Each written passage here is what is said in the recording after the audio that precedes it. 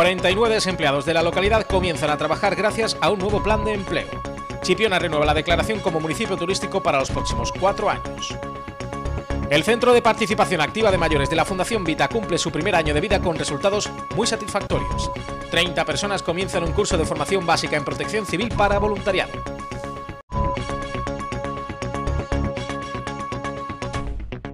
Tres oficiales de jardinería y 20 peones y siete oficiales de albañilería y 18 peones, además de un técnico de gestión de la albañilería por un periodo de tres meses, 49 desempleados en total, comenzaron ayer a trabajar gracias al nuevo plan de empleo de activación profesional de la Diputación Provincial de Cádiz, dedicado al fomento del empleo mediante la financiación de contrataciones directas en municipios con menos de 20.000 habitantes.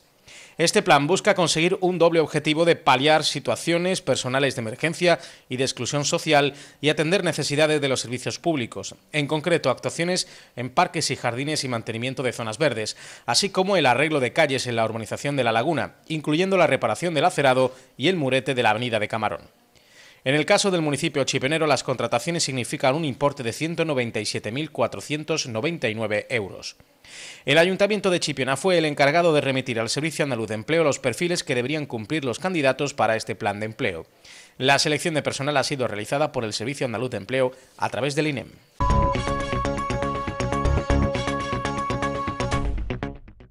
Chipiona mantendrá la declaración como municipio turístico durante los próximos cuatro años. Así lo ha comunicado la Delegación Municipal de Turismo tras recibir ayer mismo la notificación por parte de la Secretaría General para el Turismo de haber recibido la documentación que acredita el cumplimiento de los requisitos que dieron lugar a la declaración de municipio turístico. El municipio de Chipiona obtuvo dicha declaración mediante acuerdo de Consejo de Gobierno el 25 de julio de 2006. Desde entonces, esta se renueva cada cuatro años ya que la Ley de Turismo de Andalucía establece la obligación que tiene el municipio turístico de acreditar el cumplimiento de los requisitos que dieron lugar a la declaración. La finalidad de dicha declaración es la de promover la calidad de la prestación de los servicios municipales al conjunto de sus usuarios mediante una acción concertada de fomento. Para ello, se tienen en cuenta las actuaciones municipales relacionadas, por un lado, con los servicios públicos básicos que presta la localidad respecto a la vecindad y a la población turística asistida, y por otro, los servicios públicos que tengan una especial relevancia para el turismo.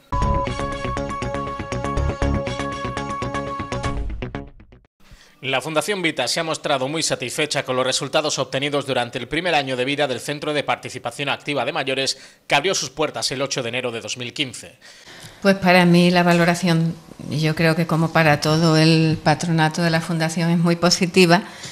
Eh, y mm, yo creo que tan importante como trabajar con los dependientes a nivel de la Asociación de Familiares de Alzheimer, tanto es eh, intentar eh, evitar que personas entren en esa dependencia o que si entran porque la enfermedad no tenga eh, una evolución favorable, como por desgracia hay algunas enfermedades, pues que sea el impacto lo mínimo posible. Y eso se puede hacer a través del trabajo que se realiza en la Fundación.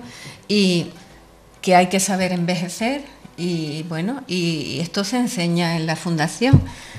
Y yo le animo a todos a que, a que colaboren con nosotros y a que den el paso de conocernos. Que hagan suyo ese proyecto, que es nuestro, pero es, al final es un bien. Al, al final es un bien para todos. Exactamente, y agradecer como siempre la colaboración por parte de empresas, entidades, eh, mm, familiares de todo el pueblo de Chipiona, que siempre tenemos que estarle agradecidos también. En la actualidad el centro cuenta con un total de 17 usuarios que han podido tomar parte en talleres y actividades que les han permitido mejorar su calidad de vida. No obstante, la Fundación Vita comenzó su andadura hace ya tres años, en 2012. Esta entidad considera que los servicios que se ofrecen en el centro y otros que están en marcha constituyen un beneficio para todos los habitantes de la localidad al suponer un activo sociosanitario, cultural y de ocio, cubriéndose de este modo las necesidades puestas de manifiesto por la población mayor, tanto activa como dependiente, al mismo tiempo que se impulsa el empleo y la economía local. Fundación Vita nació de la Asociación de Familiares de Enfermos de Alzheimer Faro de Chipiona con objetivos relacionados pero diferentes, puesto que la misión de Fundación Vita no es otra que brindar a las personas mayores un servicio gerontológico integral de atención biopsicosocial y cuidados especiales que se distinguen por la calidad del trato humano y la garantía de su profesionalidad siempre buscando satisfacer las necesidades de las personas mayores, sus familiares y la sociedad. Eh, el Centro Vita abrió sus puertas para que los mayores tuvieran un punto de encuentro donde aprender, donde formarse, donde reír Y en fin, al, fin y al cabo nosotros lo que pretendemos es que cada actividad que se realiza allí tiene un objetivo y tiene unos fines muy marcados. Y ellos tienen que divertirse realizando todo ese tipo de actividades de mantenimiento, de estimulación y de entrenamiento de la memoria.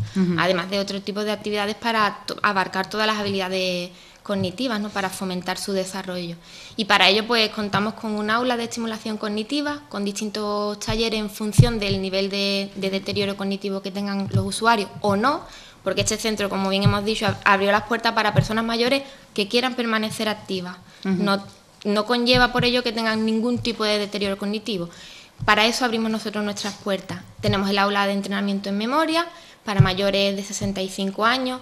También tenemos unos programas puntuales para menores de 60 años, ¿vale? que es el programa NEMO, que simplemente lo que intentamos con ello es que los mayores de 40, 45 años hasta los 60 conozcan cuáles son las habilidades y las estrategias cognitivas que pueden llevar a cabo para mejorar su memoria cuando se encuentran en una edad plena y saludable.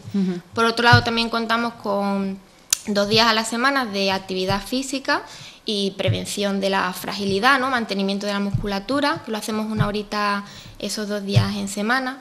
También contamos para la evaluación y la rehabilitación neuropsicológica con un programa, con un sistema multimedia, con un, un ordenador táctil, una pantalla táctil, que además es muy atractiva para los mayores. Y durante todo este año, pues tenemos, además que vamos a realizar distintas salidas porque el ocio es muy importante y tenemos que compaginarlo con las actividades. El centro se encuentra ubicado en la calle Lope de Vega número 27, esquina con Miguel de Cervantes, y cuenta con 66 metros cuadrados, además de una pequeña habitación de 3 metros y dos baños, uno de ellos adaptado a personas con movilidad reducida. La instalación se encuentra a disposición de todos los ciudadanos, permaneciendo abierto de lunes a viernes en horario de 8 y media a 2 y media de la tarde.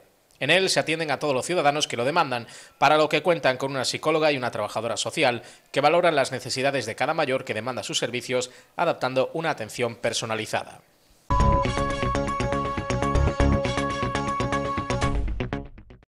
30 personas comenzaron ayer un curso de formación básica en protección civil para voluntariado concertado con la educación secundaria de personas adultas que tiene como objetivo formar a personas interesadas en el voluntariado para que aprendan a realizar actividades de apoyo y colaboración con los servicios profesionales de seguridad y emergencias, tanto en situaciones de normalidad como en las de grave riesgo, catástrofe o calamidad pública, para que puedan actuar con eficacia y seguridad. Con este curso se pretende que los voluntarios puedan adquirir y desarrollar los conocimientos, procedimientos y actitudes básicas y necesarias para desarrollar la actividad como voluntario en la agrupación de protección civil. A través del curso, los participantes conocerán la estructura, misiones, dinámica, competencias y normativa fundamental de protección civil, comprender los fundamentos de los planes de emergencia y adquirir formación básica en primeros auxilios sanitarios para poder dispensar la primera ayuda a las víctimas de accidentes o catástrofes. Asimismo, desarrollar técnicas de aproximación, salvamento, reanimación y transporte de víctimas, conocer los principios de la teoría del fuego, los equipos y sustancias extintoras, desarrollar técnicas de extinción de incendios y propiciar hábitos de seguridad y autoprotección. Asimismo, obtener recursos y técnicas psicológicas elementales para el afrontamiento de situaciones catastróficas. El curso se desarrolla hasta el próximo 29 de enero en las dependencias de Protección Civil de Chipiona.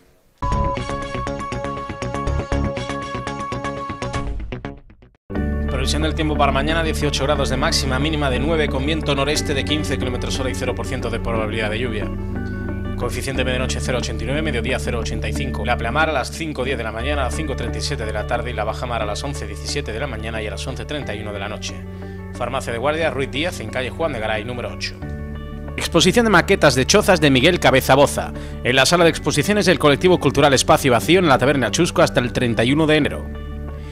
Inscripción para la cabalgata del Carnaval 2016. Abierto el plazo de inscripción hasta el día 15 de enero en el Servicio de Atención al Ciudadano del Ayuntamiento. El lunes 18 de enero se realizará el sorteo.